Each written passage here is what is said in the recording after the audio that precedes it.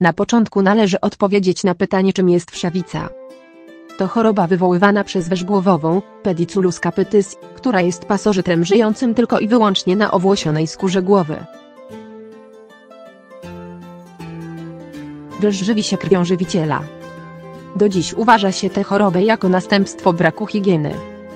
Jednak problem ten nie dotyczy już tylko nizin społecznych. To choroba, która pojawia się coraz częściej. Wreszcie to nic innego jak mały owad. Dorosły osobnik osiąga do 3 mm długości. Rozmnaża się poprzez składanie jaj, które są określane jako gnidy. Już jedna dorosła węż potrafi złożyć do 8 jaj dziennie.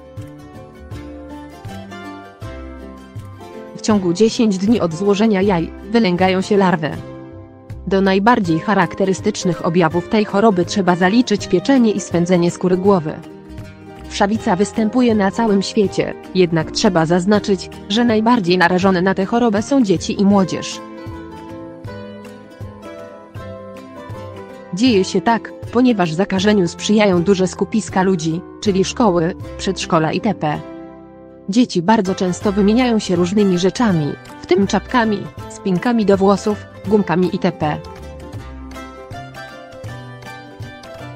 Niestety, ale panuje powszechne przekonanie, że wszawica jest powodem do wstydu. Rodzice często nie wiedzą, że ich dzieci są żywicielami tych pasożytów.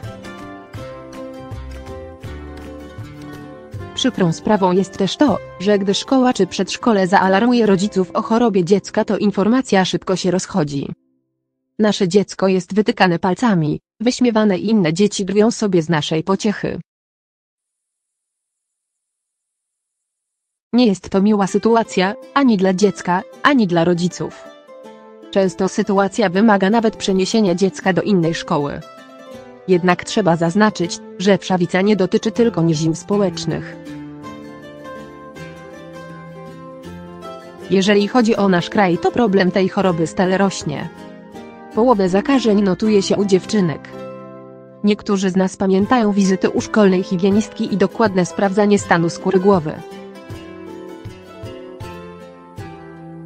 Miało to na celu jak najszybsze odesłanie chorego na wszawicę dziecka do domu i zapobiegnięcie rozprzestrzenianiu się choroby.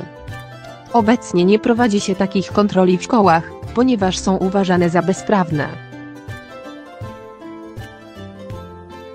Dlatego też to my rodzice musimy zacząć sprawdzać głowy naszych dzieci.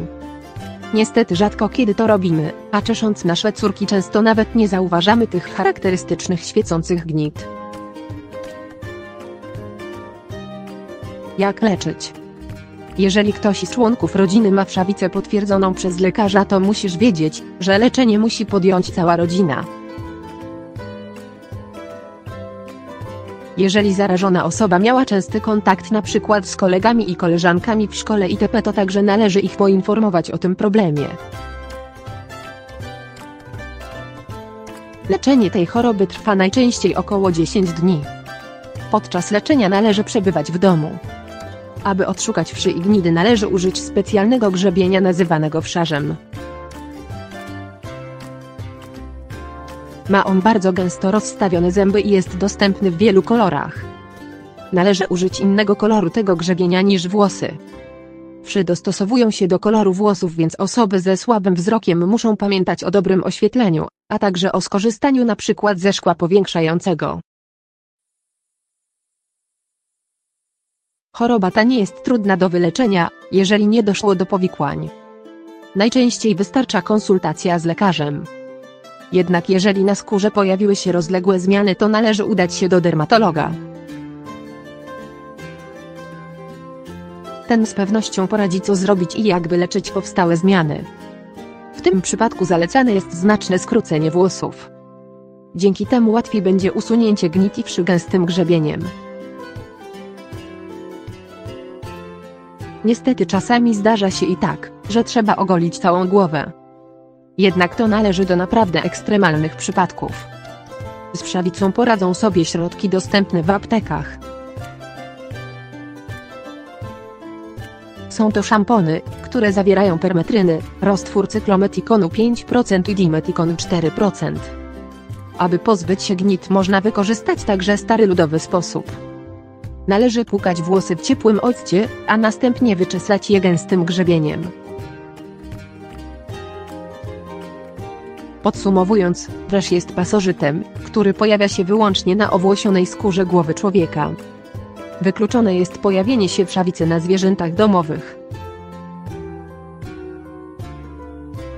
Choroba ta przenosi się z włosów na włosy za pośrednictwem pożyczanych grzebieni, szczotek, spinek itp. Wszy nie skaczą tak jak w przypadku zwierzęcych pasożytów, tcheł.